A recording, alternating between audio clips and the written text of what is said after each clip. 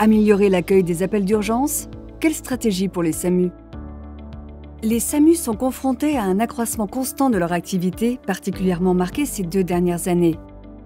Face à l'impératif de garantir à la population une prise en charge adaptée, l'étude du schéma organisationnel des SAMU devient nécessaire dans une dynamique d'anticipation.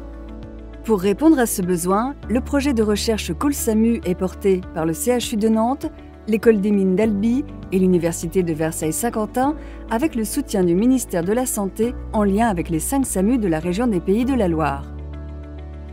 Pendant plus d'une année, les données d'activité ont été recueillies pour créer un jumeau numérique de chaque centre de réception et de régulation des appels afin de tester les différents schémas d'organisation.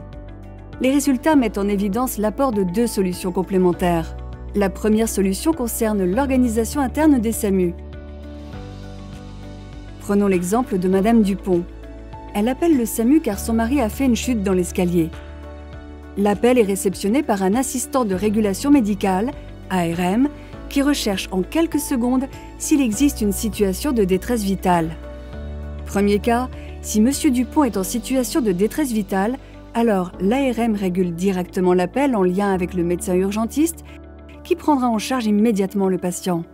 Second cas, si M. Dupont ne présente pas de détresse vitale, l'ARM transmet l'appel à un opérateur qui poursuivra l'analyse de l'état de santé de M. Dupont. L'ARM 1 seront disponibles pour accueillir de nouveaux appels d'urgence.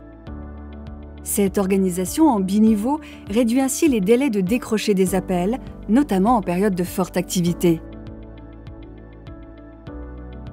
La deuxième solution complémentaire à la première concerne l'organisation externe grâce à la coopération entre les SAMU. Elle permet au premier centre disponible de décrocher l'appel, indépendamment de la localisation géographique du patient.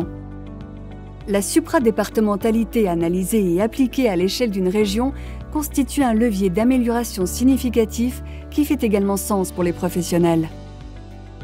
Les résultats des travaux scientifiques de simulation organisationnelle confirment que ces deux solutions, notamment lorsqu'elles sont combinées, constituent des facteurs clés d'amélioration du temps d'accès au SAMU. Pour les patients dans les situations les plus graves, cela est essentiel.